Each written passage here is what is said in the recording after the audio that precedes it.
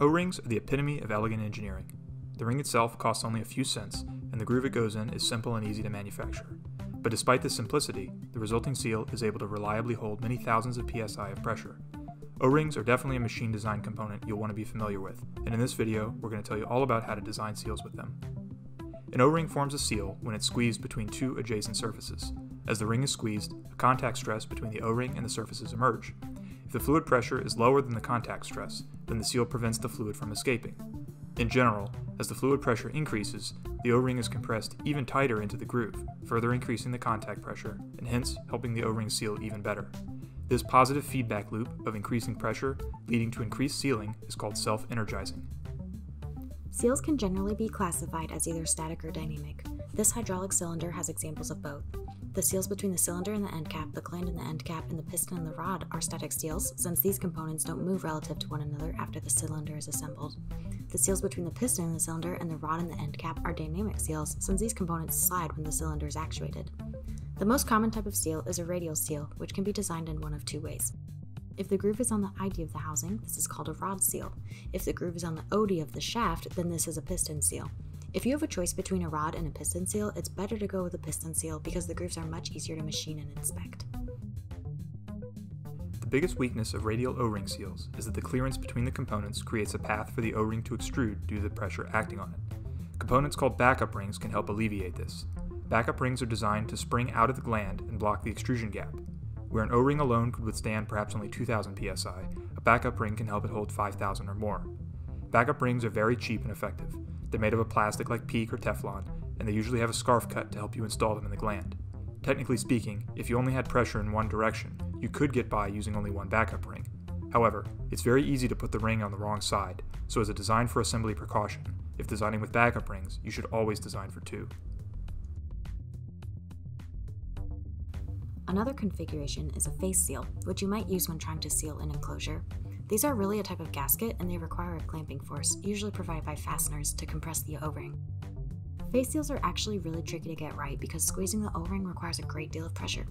The first lid design is far too thin, and in the middle there's virtually no squeeze on the O-ring, and hence no sealing. We can fix this design by adding a lip around the perimeter. A third type of design is a boss seal. You pretty much only see them on hydraulic fittings, but they have a lot of advantages for other applications. In this configuration, the O-ring sits in a triangular space that is usually made with a special form tool. Boss seals are really easy to manufacture since there aren't any undercuts, and if the gland gets damaged, they can be reworked just by machining the profile slightly deeper.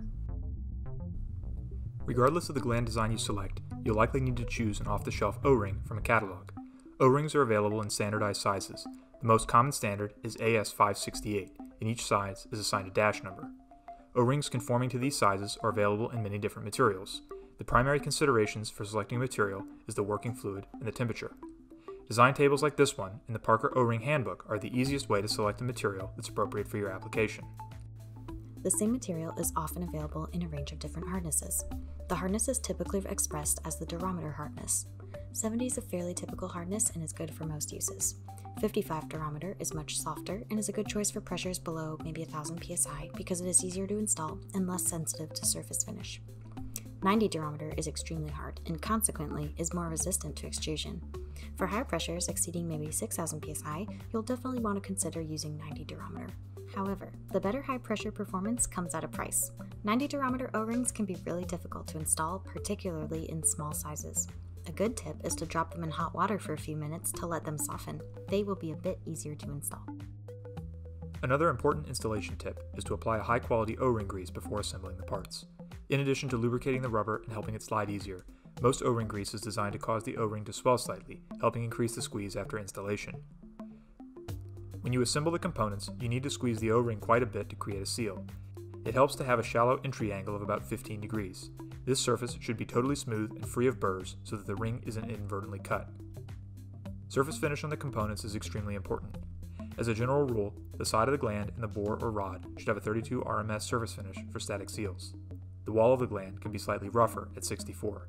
This is where the piston seal really shines, since it's typically more difficult to verify the dimensions and finish on a rod seal gland. In a dynamic application, O-rings can work, but there are much better options to consider. This is called a T-seal, and they are specifically designed for dynamic applications. They are packaged with two backup rings as a unit, and their primary advantage is that they have a wide, flat bottom to keep them from rolling around in the groove. They don't cost much more than O rings, and in our experience, are very reliable in dynamic applications.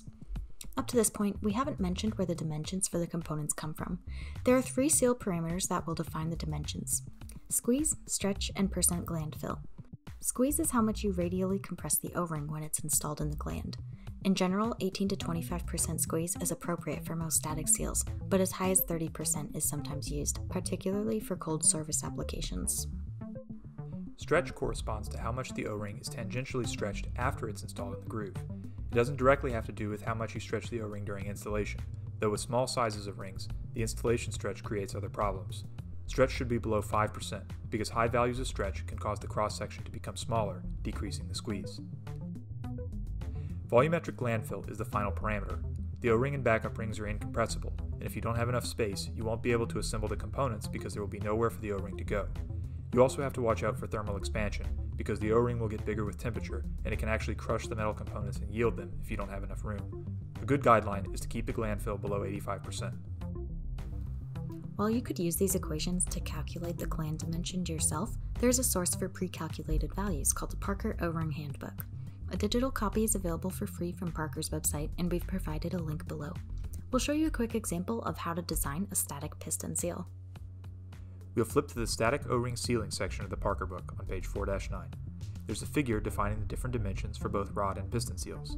We'll select the number of backup rings we're planning to use, then find the row for the 200 series O-rings in the table. Working across that row, we can read off the limits for the groove width. Then we'll turn to page 4-13, where the 200 series O-rings start. We'll find the 210 O-ring, then work across the row to read off diameters A, B1, and C. You'll notice that the tolerances for these dimensions are given at the top of the table. Then, all we have to do is transpose this information onto our drawing. Unless you have a very unusual or demanding application, the guidelines we've given you and the tables published by Parker should allow you to confidently design reliable O-ring connections. If you found this video helpful, we'd really appreciate it if you shared it. We've got a long list of engineering topics that we'll be covering in future videos, so be sure to subscribe so you don't miss these.